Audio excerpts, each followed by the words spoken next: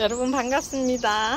아, 요즘 갑자기 예, 한여름 날씨로 접어드는 것 같아요. 그죠? 사람도 힘들고 식물도 힘듭니다. 아, 그 와중에 아, 멀리서 이렇게 안젤로니아라는 아이를 이렇게 예, 그 강원도 동해시에서 이렇게 아, 이렇게 보내주셨네요. 아이고 택배로 왔는데 에, 하나도 상하지 않고 꼼꼼하게 에, 컵을 일회용 컵을 여기 이렇게 모자처럼 씌워서 어, 포장을 그 포장법을 많이 쓰거든요. 저도 그렇게 쓰지만 키 있는 아이들도 어, 테이크아웃 컵을 이렇게 에, 씌워서 테이핑 해주면 음, 이들 안 다치고 어, 잘갈 수 있답니다. 어, 날씨 안 더운 날 골라서 보낸다고 왔는데 아주 잘 왔어요. 어, 촉촉하게 물까지 줬는데요. 하나가 요 베고니아 같아요. 얘가 아, 컵에 쌓여가지고 어, 그, 입장 좀 떼고 어, 적응 한번 시켜서 제가 또 예쁘게 에, 한번 키워보도록 하겠습니다. 아, 미래클 정원님 너무 감사해요. 또 마음에 담아주신 것도 고마운데 이렇게 선물까지 주셔서 어, 이꽃 키울 때마다 아, 제가 아, 미래클 정원님 아, 어, 생각하고 또 감사하게 예, 또 응원하며 가겠습니다. 아, 이런 음, 귀한 인연들이 있어서 어, 큰, 큰, 뭐, 성과 없는, 음, 유튜버 생활이지만, 그래도 행복하게, 즐겁게 예, 갈수 있는 것 같습니다.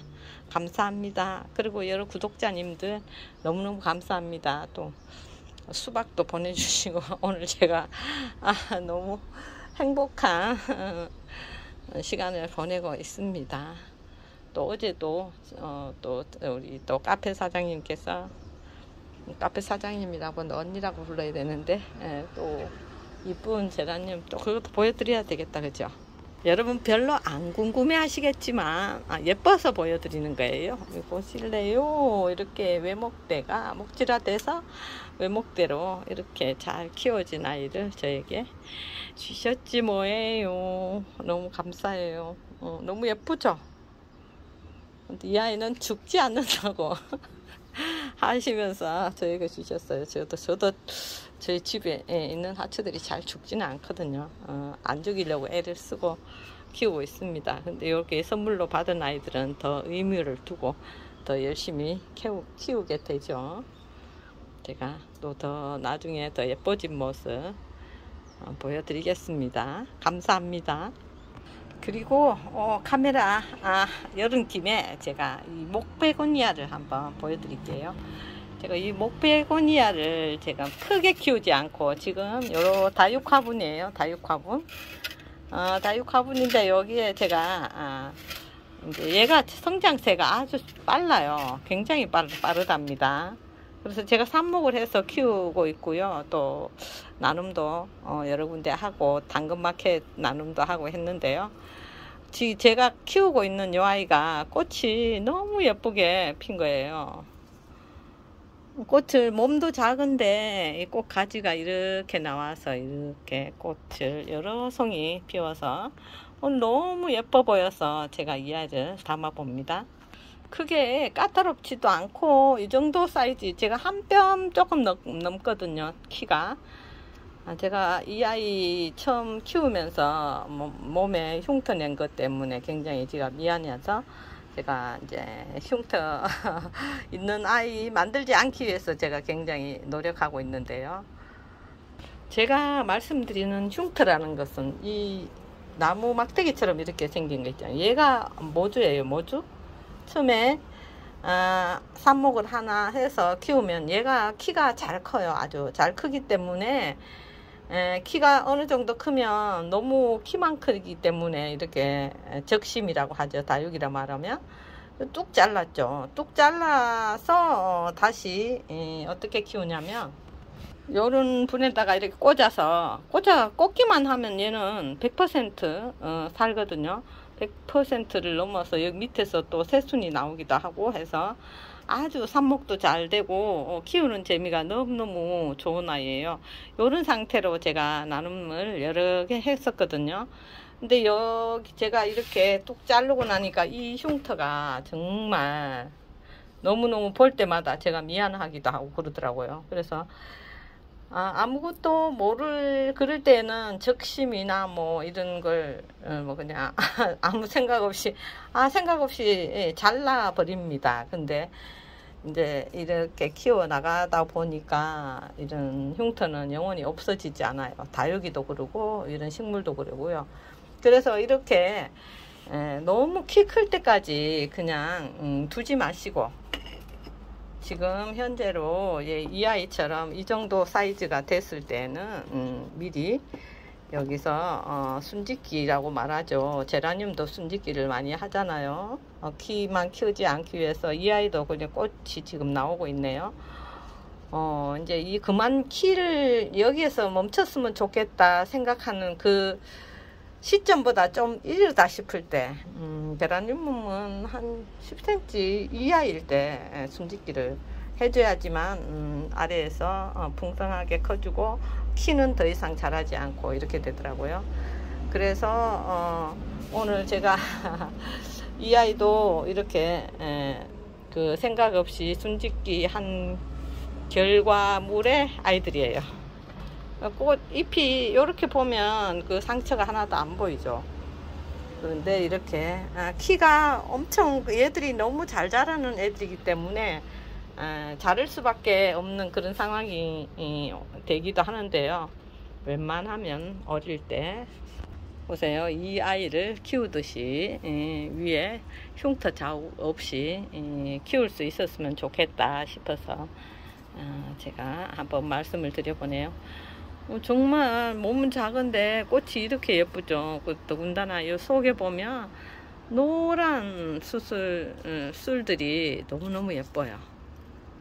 너무 사랑스럽다니까요. 이 꽃 자체가 어, 그렇다고 여름을 심하게 타는 아이도 아니고 어, 또 키우기 까탈스럽지도 않고 하면서 순둥순둥 하면서 꽃은 잘 보여주는 아이 요런 아이들이 뭐 최고죠 뭐. 그죠? 지금 더워지니까 제라늄들도 힘들고 또 어, 다른 화초들도 다육이들도 뭐 힘든 계절이기는 마찬가지입니다. 아, 요럴 때 보면 이렇게 순둥하게 에, 자라주면서 예쁘게 꽃까지 피워주는 아이가 최고인 것 같습니다. 요 필리아 페페도 아주 잘 자라고 있잖아요. 어, 요런 베란다에서 환경에서 잘 자랄 수 있는 아이들, 어, 스트레스 없이 예, 키울 수 있는 아이들을 어, 조금 추천받아서 키우는 것도 어, 식물을 식물 생활을 즐겁게 하는 방법이 아닌가 아, 이런 생각을 해봅니다. 어, 벌레잡이 제비꽃도 어, 베란다에서 괜찮은 것 같습니다. 아, 아, 통풍이 잘 되는 음, 바깥이라도 통풍이 잘 되는 그런 환경이면 더 좋을 것 같고요. 어, 베란다에서 어, 그냥 잎꽂이도 잘 되고 어, 그런 대로 어, 크게 예, 문제 없이 무난하게 예, 자라주는 것 같습니다. 장마철에는 음, 통풍을 조금 음, 신경 써 주시는 게이 예, 아이들이 녹, 녹아버리잖아요. 여기 연약한 아이들은 녹아버리거든요. 그런 일 없이 여름철을 보낼 수 있는 것 같아요. 이런 다육이 중에서도 이런 하월시아 종류들을 어, 베란다 안에서 그냥 무난하게 자랄 수 있답니다. 이런 거 키우면서 스트레스 덜 받고 즐겁게 어, 식생활하면 좋겠죠. 이 아이도 어, 싹소롬입니다. 이 아이도 이제 삽목둥이를 음, 키가 훌쩍 크길래 제가 여기다 하나 딱 하나만 딱 심어 놨는데요.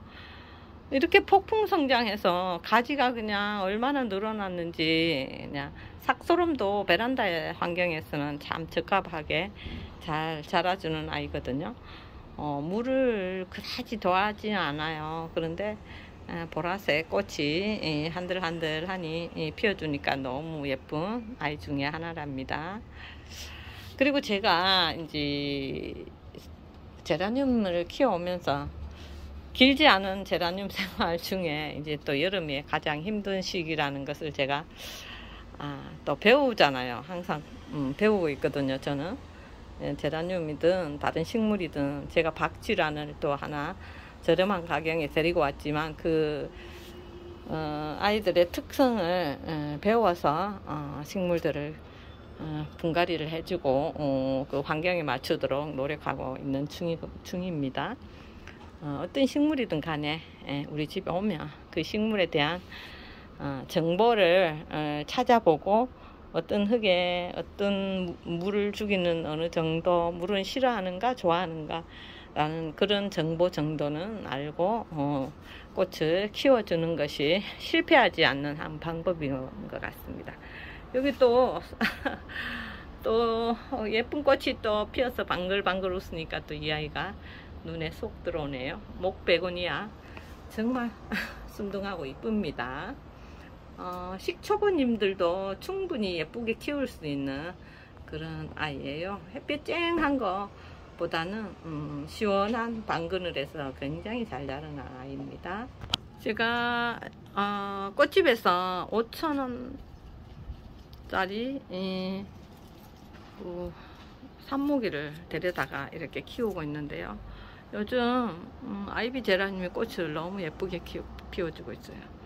어, 꽃잎도 건, 저 이파리도 건강해 보이죠. 어, 꽃이 이렇게 예쁘게 예, 잘 자라주고 있습니다.